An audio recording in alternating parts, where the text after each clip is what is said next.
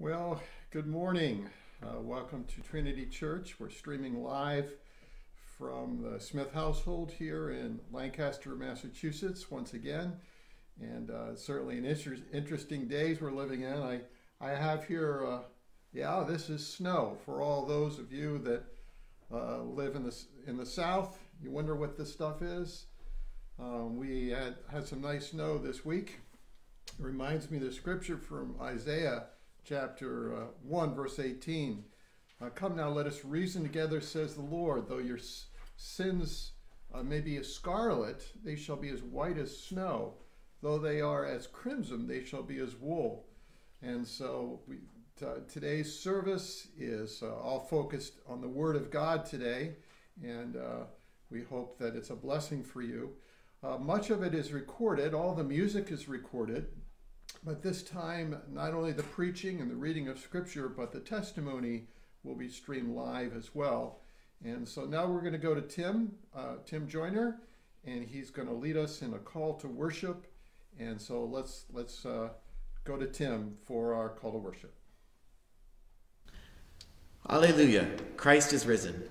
The Lord is risen indeed. Hallelujah. Almighty God, to you all hearts are open, all desires known, and from you no secrets are hid. Cleanse the thoughts of our hearts by the inspiration of your Holy Spirit, that we may perfectly love you and worthily magnify your holy name through Christ our Lord. Amen.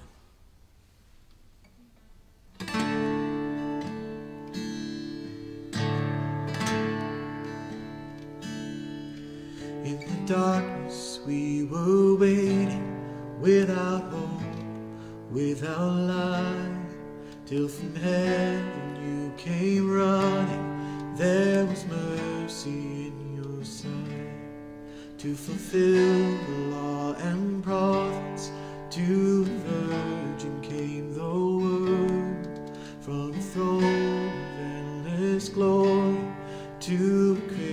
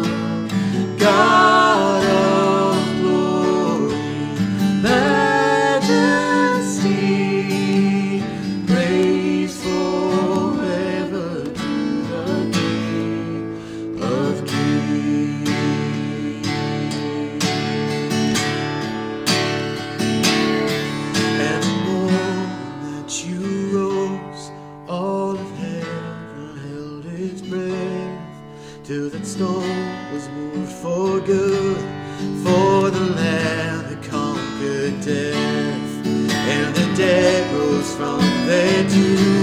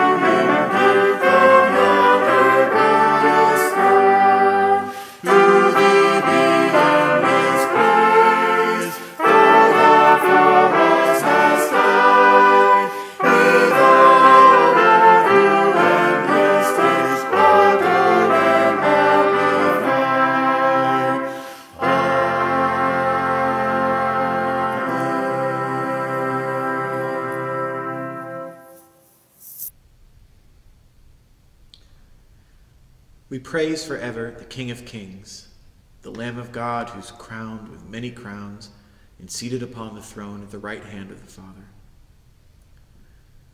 We confess that during this time of trial that we've experienced, that we haven't always been living in the knowledge that Jesus, you reign.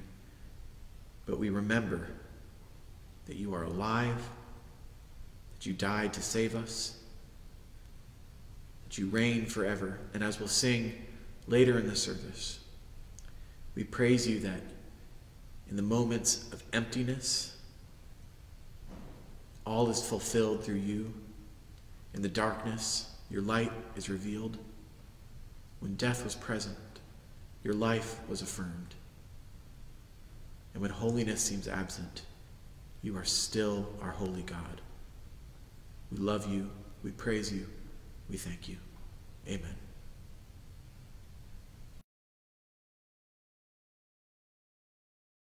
Thank you so much, uh, uh, Tim, for leading us in a time of worship, and for Kirsten, thank you for joining in, and Bill Percoco and Sammy Smith uh, joining in on vocals. We thank you all for uh, leading us in worship and just a special shout out to my daughter in law, Sammy Smith, on her birthday today. Happy birthday, Sammy.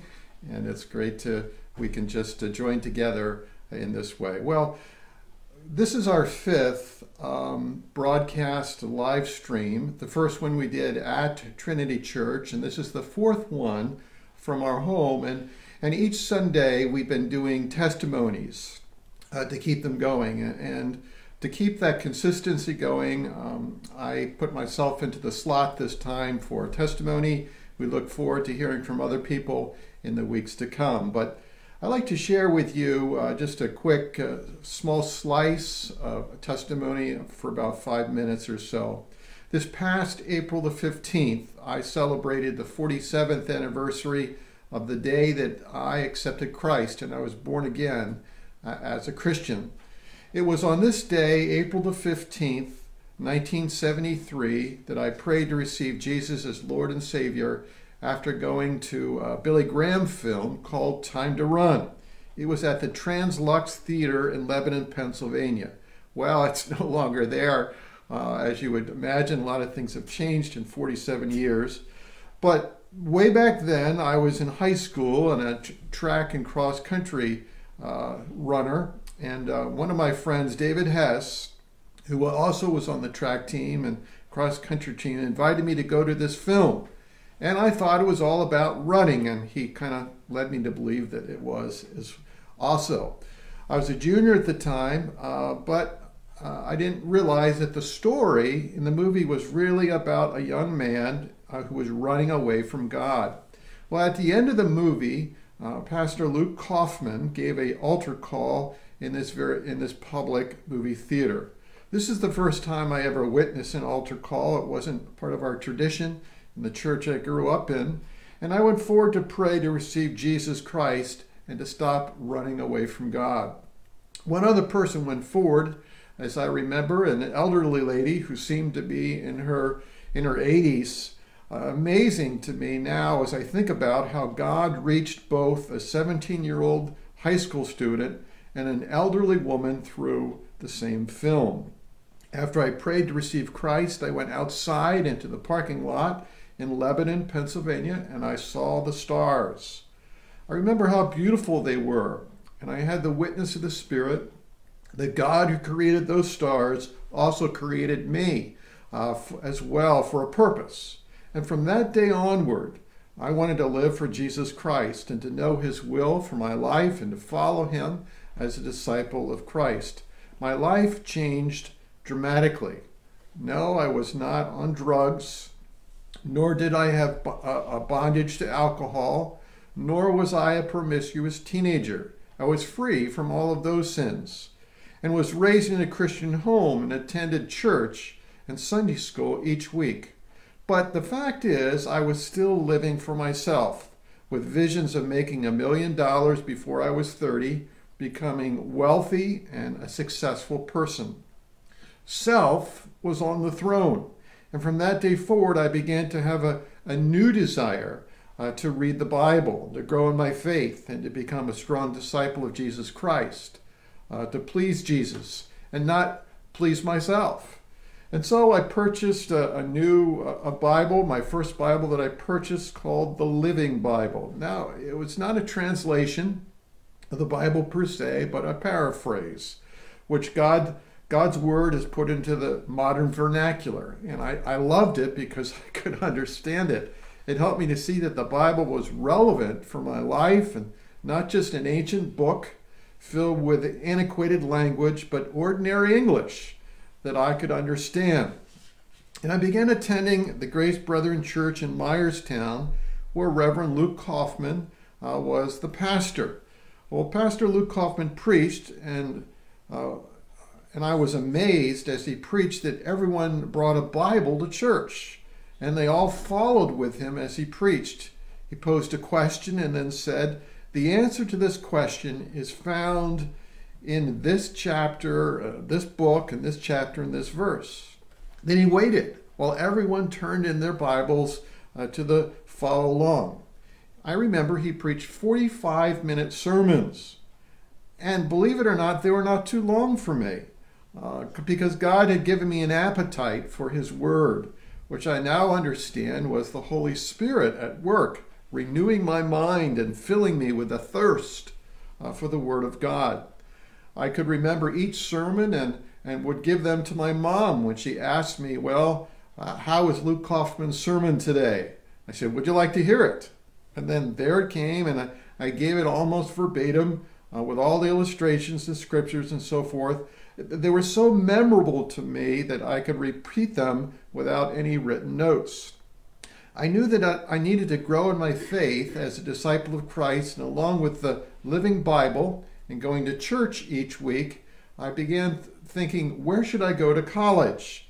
And uh, where I could receive further discipleship in my faith. Now, I knew that if I went to a secular university, that I would not get the grounding and the foundation in my faith that I needed. I considered strongly Gettysburg College, since they had a ROTC program where I could become an officer in the military and serve my country and get my college paid for.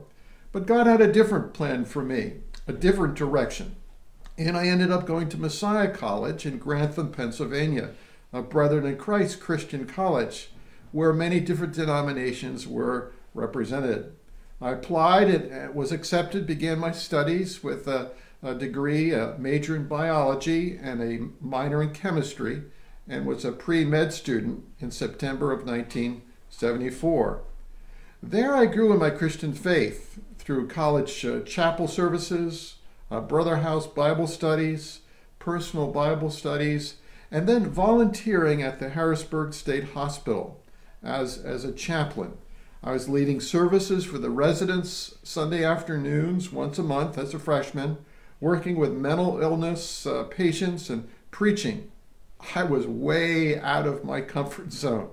But one day, as I was preaching the gospel, I gave an invitation for those, uh, uh, those patients uh, to come forward to receive Christ if they wanted to receive Him. I was not sure how much was actually getting through to the folks.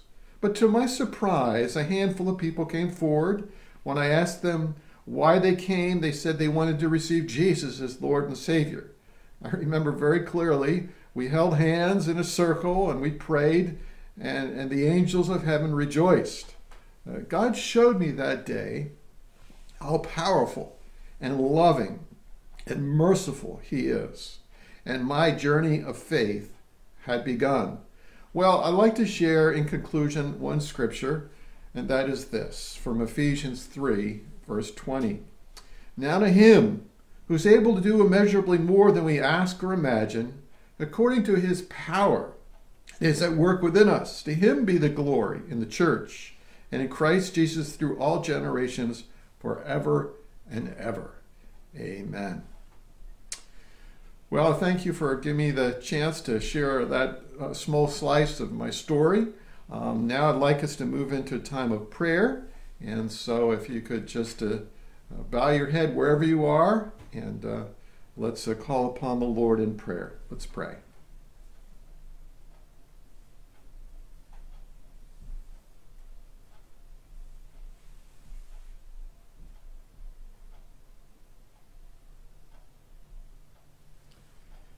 We thank you for this fellowship of your people here at Trinity Church and all those special people who may be joining in this worship service, either here in central Massachusetts or from other parts of the nation and world.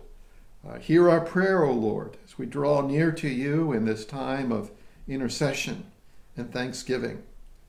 We draw near to your throne of grace this Sunday in adoration and praise, for you are our God and King. We will praise your name forever and ever. Great are you, our Lord, and most worthy of praise. You are our light and salvation. Whom shall we fear? You are the stronghold of our life. Of whom shall we be afraid? Lord, we seek your face and ask that you would lead us in straight paths and teach us your ways. We wait for you and take heart, for you are our rock and our fortress. You are the lifter of our head. Blessed be your holy name forever and ever. Father, grow us as your covenant people into the image and likeness of Christ May we glorify you in our homes as we practice social distancing during this pandemic. Grow our faith, grow our prayer lives. Show us how to reach out to our neighborhood caring groups and our greater community. We pray for our medical personnel, our doctors, nurses, first responders, healthcare professionals are working so hard to protect us from COVID 19 and other illnesses.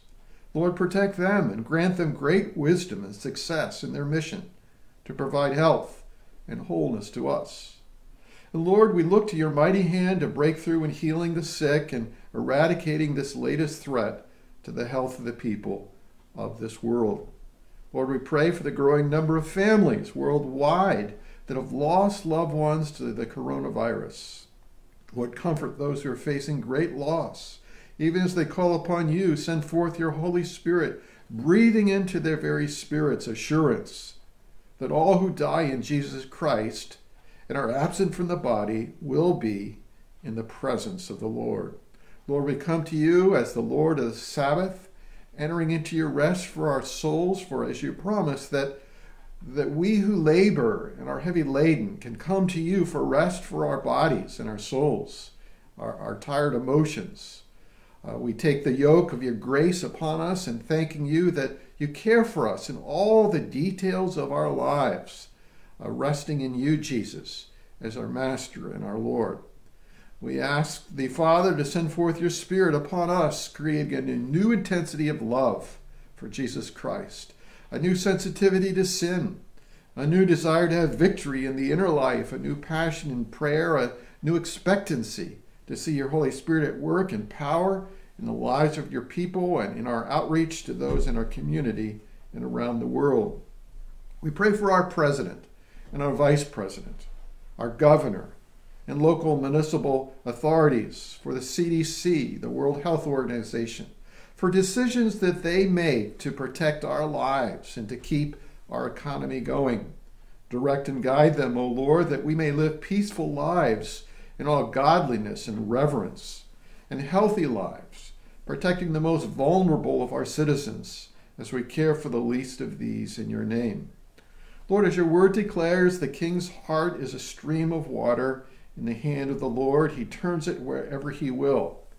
We think of how you directed Cyrus and Nebuchadnezzar and Artaxerxes and others. Lord, turn the hearts of our leaders to you, that they may do your will.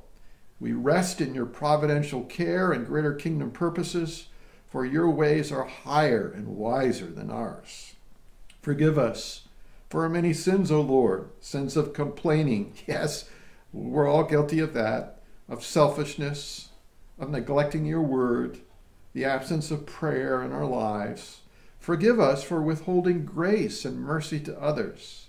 Forgive us for unkindness and prideful indifference. Forgive us for sins of violence and cruelty, for hardness of heart, not seeking first your kingdom and righteousness, for pushing the panic button all too often instead of calling upon you in faith. And Lord, you know I'm guilty of that.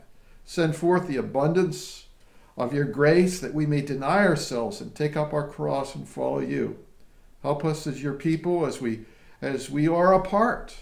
Show us uh, ways to encourage one another, to build each other up as we're absent from one another. We thank you that you go with us always, even to the end of the age. And, and Lord, we pray these things in Christ's name. And hear us as we now sing together the Lord's Prayer.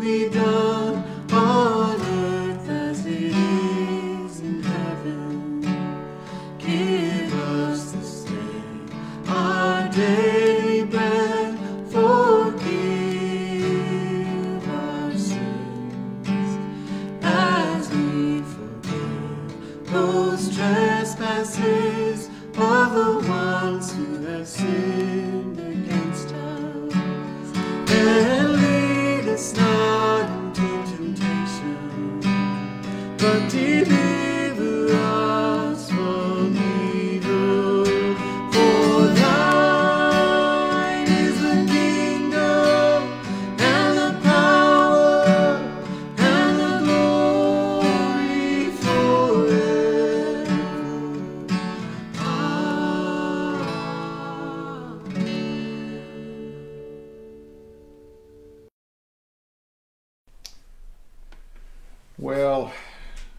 praise the Lord indeed. This is the time that uh, we're going to take up an offering, and uh, we encourage you to be able to send in your contributions uh, to Trinity Church or give online.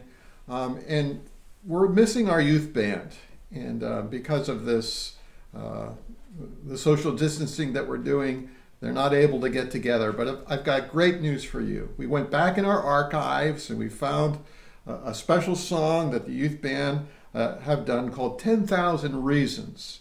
So this was pre-recorded before uh, we we are in this uh, place that we are before the pandemic, and so they're going to uh, lead us now in this song, and we hope it's a blessing for you.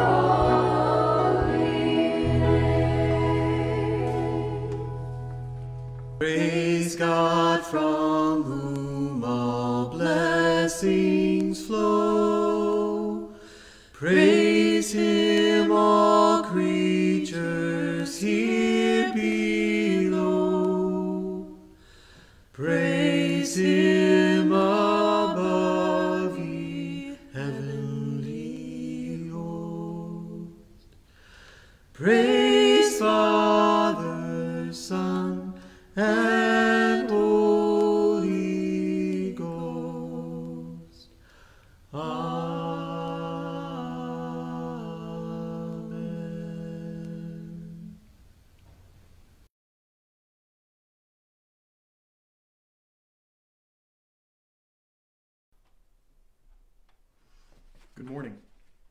My name is Susan Smith. I'm going to be reading scripture this morning. The uh, Old Testament reading can be found in Psalm uh, 19, verses 7 through 11. Again, that's Psalm 19, 7 through 11. The law of the Lord is perfect, reviving the soul. The statutes of the Lord are trustworthy, making wise the simple. The precepts of the Lord are right, giving joy to the heart. The commands of the Lord are radiant, giving light to the eyes. The fear of the Lord is pure, enduring forever. The ordinances of the Lord are sure and altogether righteous. They are more precious than gold, than much pure gold. They are sweeter than honey, than honey from the comb. By them is your servant warned. In keeping them, there is great reward. The gospel reading this morning is from the book of Matthew, chapter 13, verses 1 through 23. That's Matthew 13, 1 through 23. That same day, Jesus went out of the house and sat by the lake. Such large crowds gathered around him that he got into a boat and sat in it, while all the people stood on the shore. Then he told them many things in parables, saying, A farmer went out to sow the seed. As he was scattering the seed, some fell along the path, and the birds came and ate it up. Some fell on rocky places where it did not have much soil. It sprang up quickly because the soil was shallow. But when the sun came up, the plants were scorched, and they withered because they had no root. Other seed fell among thorns, which grew up and choked the plants. Still other seed fell on good soil, where it produced a crop, a hundred, sixty, or thirty times what was sown. He who has ears, let him hear. The disciples came to him and asked, Why do you speak to the people in parables? He replied, The knowledge of the secrets of the kingdom of heaven has been given to you, but not to them. Whoever has will be given more, and he will have in abundance. Whoever does not have, even what he has will be taken from, from him. This is why I speak to you in parables. Though seeing, they do not see, though hearing, they do not hear or understand. In them is fulfilled the prophecy of Isaiah. You will be ever hearing, but never understanding. You will be ever seeing, but never perceiving. For this people's heart has become calloused. They hardly hear with their ears, and they have closed their eyes. Otherwise, they might see with their eyes, hear with their ears, understand with their hearts, and turn, and I would heal them. But blessed are your eyes because they see, and your ears because they hear. For I tell you the truth many prophets and righteous men longed to see what you see, but did not see it, and to hear what you hear, but did not hear it. Listen then to what the parable of the sower means. When anyone hears the message about the kingdom and does not understand it, the evil who comes, the evil one comes and snatches away what was sown in, the, in his heart. This is the seed sown along the path. The one who received the seed that fell on rocky places is the man who hears the word and at once receives it with joy. But since he has no root, he lasts only a short time. When trouble or persecution comes because of the word, he quickly falls away. The The one who received the seed that fell among the thorns is the man who hears the word, but the worries of this life and the deceitfulness of wealth choke it, making it unfruitful. But the one who received the seed that fell on good soil is the man who hears the word and understands it. He produces a crop yielding a hundred, sixty, or thirty times what was sown. The New Testament reading this morning is from the book of Hebrews. It's in chapter 4, verses 12 through 13. Hebrews 4, 12 through 13. For the word of God is living and active, sharper than any double edged sword. It penetrates even to dividing soul and spirit, joints and marrow. It judges the thoughts and attitudes of the heart. Nothing in all creation is hidden from God's sight. Everything is uncovered and laid bare before the eyes of Him, to whom we must give account. This is the word of the Lord. Thanks be to God for His holy and inspired word.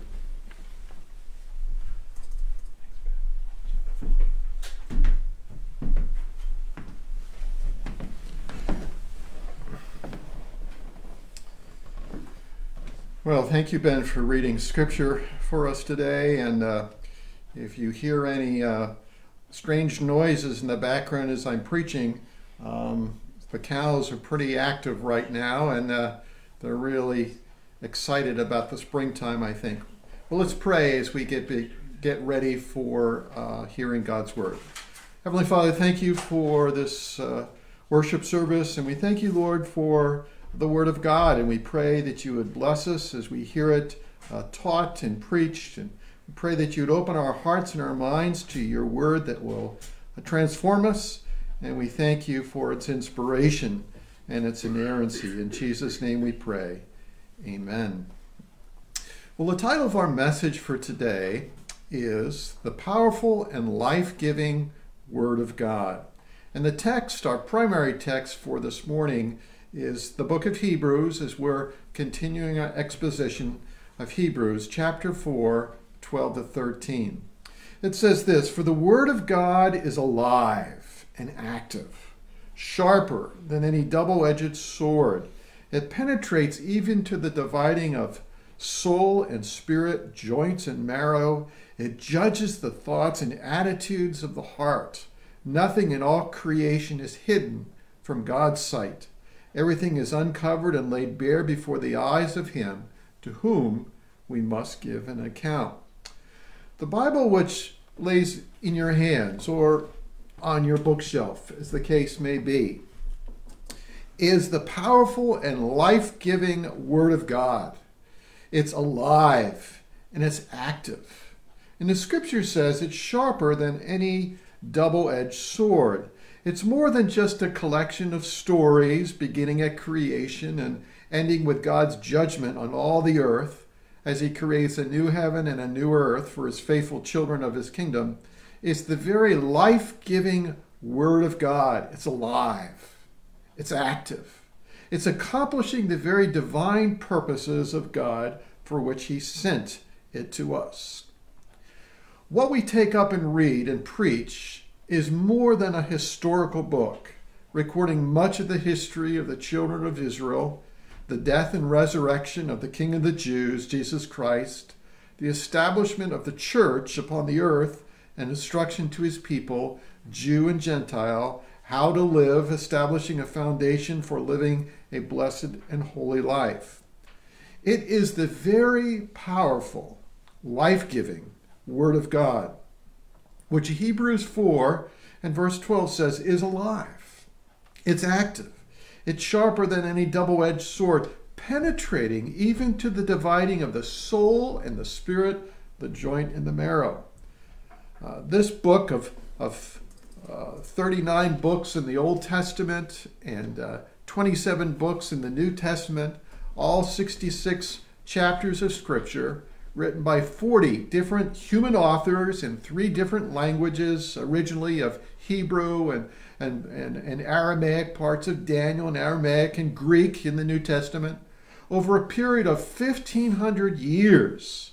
from 1405 BC when Moses wrote the, the Pentateuch to 95 AD when John finished uh, the Gospel of John and the book of Revelation, 1500 years, it's more than an ancient book of books. It speaks to every issue in life, from marriage to raising children, how to treat others, how to know God, and how to experience uh, life to the full, a blessed and prosperous life. It's the Word of God, it, it penetrates deeply uh, within our inner beings. Hebrews 4:12 says it judges the attitudes and the thoughts of our human hearts. Uh, everything within us and within all of God's creation is uncovered. It's literally laid bare by this book, the scriptures, the Word of God. And that very Word of God is powerful, it's alive, it's active like a two edged sword cutting deep within our very core of our being. What, what makes this book, the Bible, God's holy word, so alive and so penetrating? Well, 2 Timothy 3:16 tells us this. All scripture is breathed out by God and profitable, profitable for teaching, for reproof, for correction, training in righteousness, that the man of God may be complete, complete for every good work. The entire canon of Holy Scripture, from Genesis to Revelation, is breathed out by God. It's inspired by God through various human writers, not through word for word dictation now, but using the personalities of each human author in such a divinely ordained way by the Holy Spirit for the profit of a man and the woman of God, that we, we may be taught, we may be corrected, we may be reproved, we may be trained up for holy living, that we may be equipped for every good work and be made complete before God. All scripture, not just the words of Jesus, but the words of the Apostle Paul and Peter, the prophets, uh, Jeremiah, the psalmist, and Isaiah, and Moses, and all the other writers of sacred scripture had been breathed out by God through his Holy Spirit to transform us uh, from the inside out, deep within our souls and our spirits, that we would be made complete, to sanctify us, to transform us, if you will, into the image and the likeness of Jesus Christ, that we would be equipped for every good work, so that we may experience our greatest purpose in life to know God and to glorify Him forever. Well, God's word is powerful and likened to a two edged sword. It penetrates even the dividing of the soul and the spirit, the joint and the marrow. It judges our thoughts and attitudes and heart.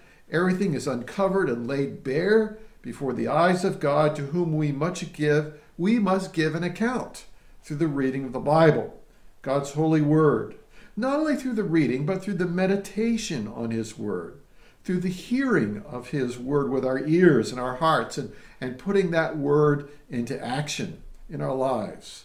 How then shall we live in this world that we live in and where we put our hope in, not only in this life, but in the life uh, uh, uh, beyond this life, in the world to come?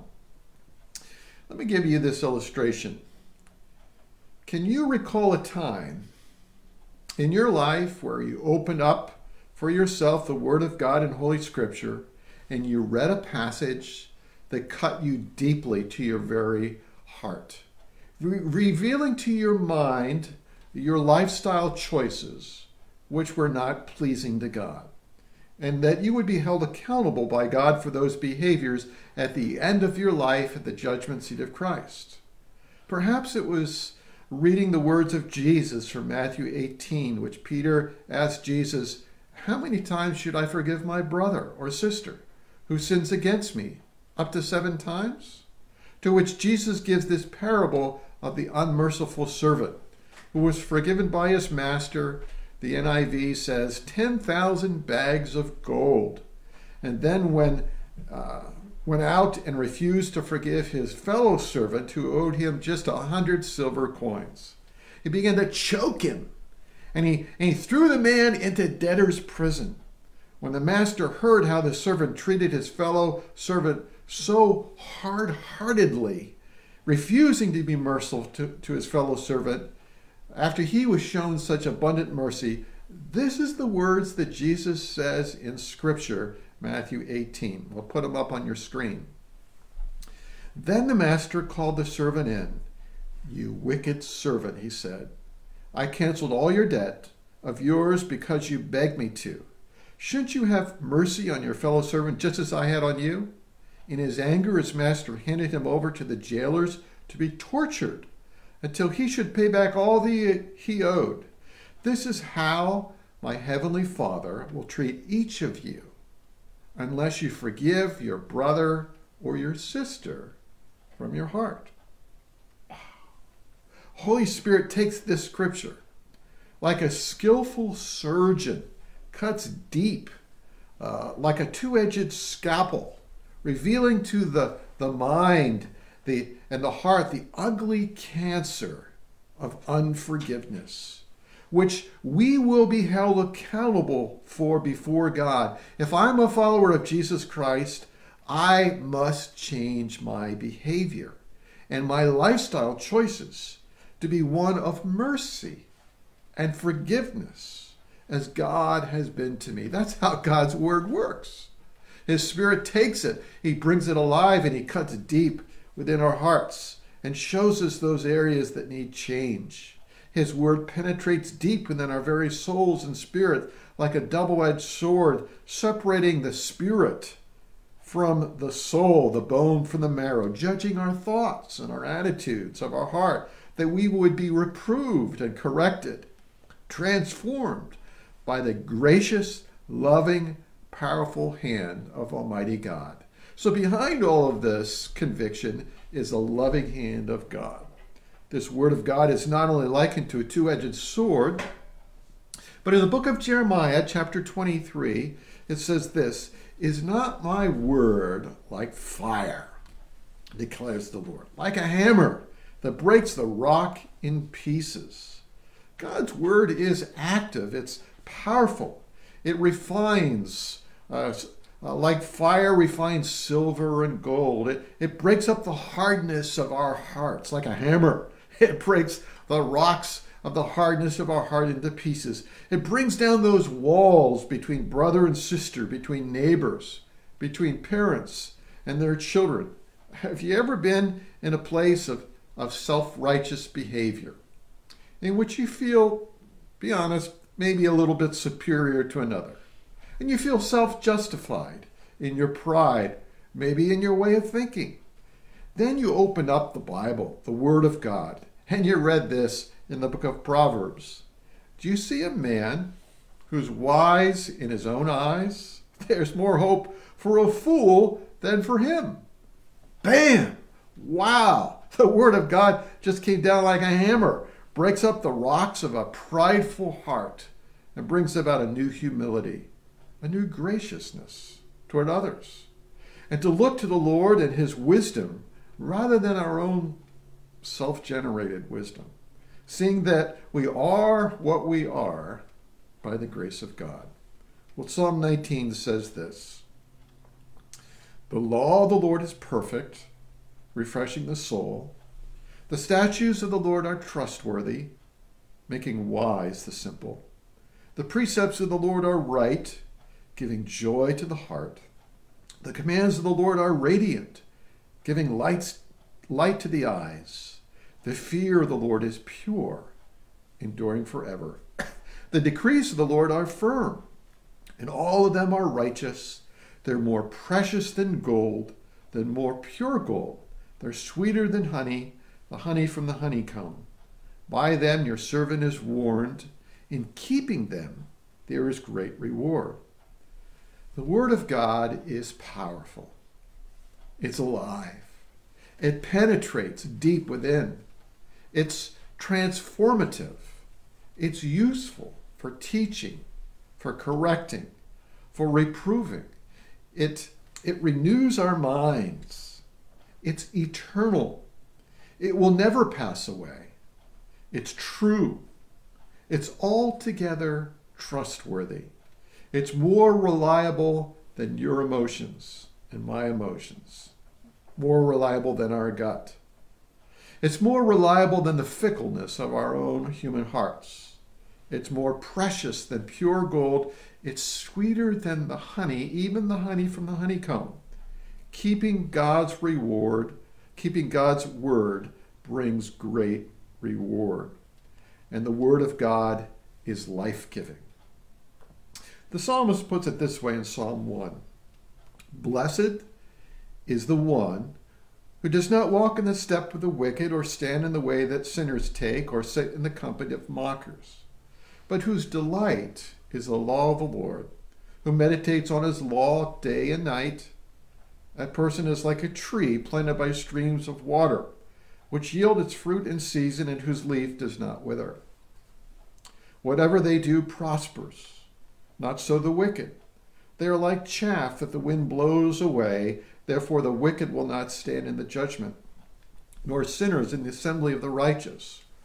For the Lord watches over the way of the righteous, but the way of the wicked leads to destruction. Well, the Word of God is life giving.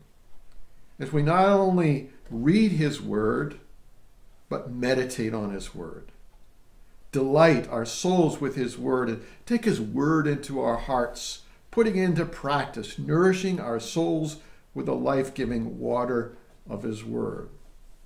Well, I have a little illustration for you here uh, that I'd like to grabbed now at this time. Oh. Here we have a beautiful bouquet of uh, forsythia. Well, in honesty, it's partly beautiful. Uh, I, I picked this forsythia from our front lawn uh, in one of the bushes um, earlier in the week, and, and, uh, and this part of it is nice and, and fresh. And then there's other parts like this that are kind of withered. And I wondered, like, what's wrong with this forsythia? And then I realized that this part of the forsythia never found its way into the water. It became dried up and withered. Now, even though it's in the fellowship, if you will, of the rest of the forsythia, it's still dried up and withered. And I think the principle here is clear for us when we think about the Word of God. Uh, we must have our lives immersed in the water of His Word in order to, to thrive. Even though we may be in fellowship together uh, with one another, we can become dried up unless we, as individuals, are taking His Word for ourselves and drinking it in. Uh, the analogy is this that to thrive as believers, we need to be immersed in the life giving water of God's Word each and every day, reading it, meditating upon it, putting it into action. Just being in the fellowship of others as needful and as enjoyable as this is uh, will not suffice. To prosper our souls, we need to be in the Word, drinking the water of the Word each and every day uh, for ourselves. As the psalmist says, those who delight in the Word of God and meditate on it day and night, they'll be like a tree planted by streams of living water, which yield its fruit in season and whose leaf does not wither. Whatever they do will prosper. The Word of God is life giving for your soul. Drinking deeply of His Word not only forms a solid foundation for your life, uh, bringing, brings with it bearing fruit for God in your life. Fruit of the Spirit, like love and joy and peace and patience and kindness and goodness, faithfulness, gentleness, and self control. It not only brings stability for living in uncertain times like we're in, it brings fruitfulness in your life. Uh, live for the glory of God. Jesus in Matthew 13, He likens the Word of God to good seed, which is sown in the soils of the human heart by the sower. Some of that seed is, is scattered upon the path, and the birds of the air quickly ate it up. Some is sown on the rocky places, where it did not have much soil. It sprang up quickly because, uh, because the sun came and scorched it. Some was sown among the thorns, which grew up and choked the plant. Other was sown in good soil, where it produced a crop a hundred, sixty, or thirty times the what was sown.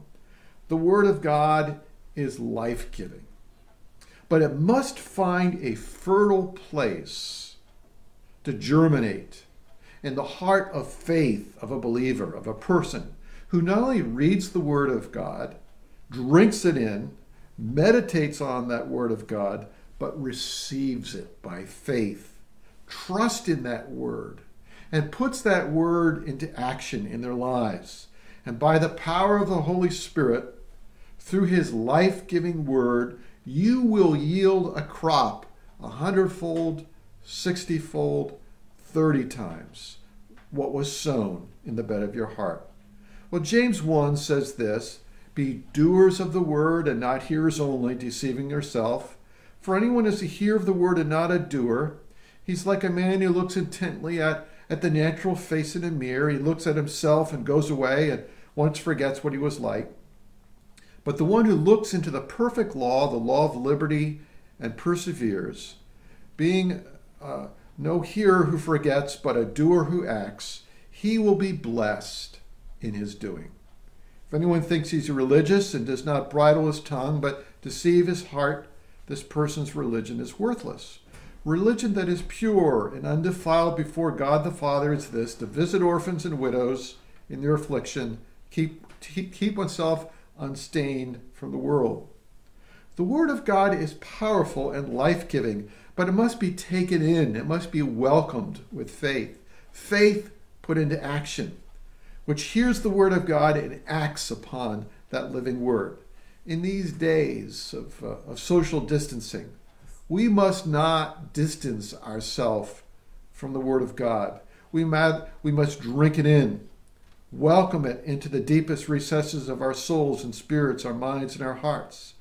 And then, as we meditate on it deeply, submitting our lives to the authority of God's Word and, and welcome its correction and reproof, then we can be thoroughly equipped for every good work. And that work can include to visit widows and orphans through modern high tech means uh, like FaceTime and other things, through time test and also through time tested means of old fashioned cards in the mail and a phone call, and to live and to serve those in our community, caring for others as the Lord Jesus, bearing fruit for the Lord 30, 60, and 100 fold. His word is like the life giving rain Isaiah says, For as the rain and the snow come down from heaven, and yes, we've got some snow here today, it's probably all melted by now, but we can imagine now, even as the snow comes down uh, from heaven, and do not return there, but waters the earth, making it to bring forth sprout, giving seed to the sower and bread to the eater, so shall my word that goes forth from my mouth, it shall not return to me empty it shall accomplish that which I purpose, shall succeed in the thing for which I sent it. You'll go out in joy, be led forth in peace. The mountains and the hills before you shall break forth into singing, and the trees of the field shall clap their hands. Well, the Word of God, in conclusion, is powerful, it's life giving, it is, as the author of Hebrews says, alive, active, sharper than a double edged sword. It penetrates even to the dividing of the soul and the spirit, the joint and the marrow. It judges our thoughts and attitudes of the hearts. Through His Word, nothing in all creation is hidden from God's sight. It prepares us for living in these days and prepares us to stand before the judgment seat of Christ, to whom we must all give an account. Beloved, drink deeply deeply of the Word of God. And you will go forth in joy, be led forth in peace, for this time of pandemic will pass away. But the living Word of God, the Scripture, the Word of God will never pass away. That's what Jesus said in Luke chapter 21. Heaven and earth will pass away, but my words will never pass away. Hang on to that and drink the Word of God in for your very souls. Well, let's pray. Let's pray. Lord, we thank you for the gift of your living Word, and we thank you for giving it to us through the inspiration of the Holy Spirit. We thank you for preserving it for us, keeping its transmission and copying of your Word, maintaining its truth, its reliability to its original transmission. May we store your living Word in our hearts that we may not sin against thee. Teach us your statutes.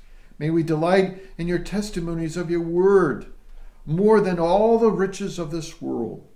May we not forget your word, but drink it in and meditate on your word night and day. Bless us, prosper us, O Lord, according to your promises given to us in Scripture. Grant us faith in action, and will not only welcome your word into our hearts and minds, renewing them, but grant us the application of your holy word as doers of the word and not hearers only. We pray this in Jesus' name. Everyone said, Amen. Well, now, now we're going to join into a special uh, time of singing and want you to really sing uh, robustly uh, as we sing some songs. And Tim and Kirsten are going to lead us in our final songs, and then I'll, we'll come back uh, for a final benediction.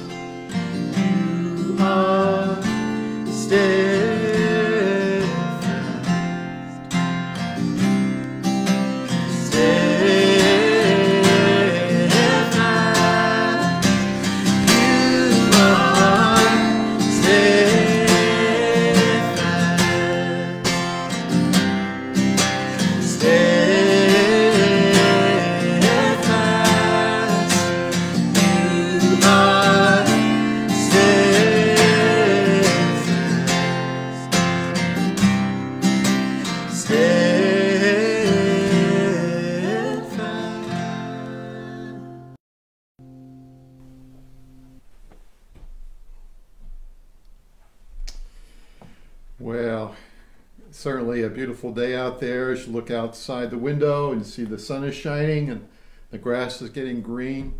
And we, we know that the Lord is steadfast. Uh, he's, a, he's with us uh, through this time and He's always there. I'd like to conclude with uh, the scripture from Psalm 119 for you. And you'll see this lamp beside me. Uh, It's more than just a, a visual aid, it's, uh, it's captured in Holy Scripture in Psalm 119. The Bible said, Your word is a lamp to my feet, a light for my pathway. It goes on then to say, Your statutes are my heritage forever. They are the joy of my heart. My heart is set on keeping your decrees to the very end. My prayer for you is that your heart would be set upon keeping the decrees of God to the very end. God will bless you for it. Well, have a great day. Thank you for joining us. Uh, please tell others about our, our live streaming of Trinity Church. We'll be back here again, uh, Lord willing, next Sunday at 9:30. Uh, please uh, uh, come back for another message from God's Word. Go in peace.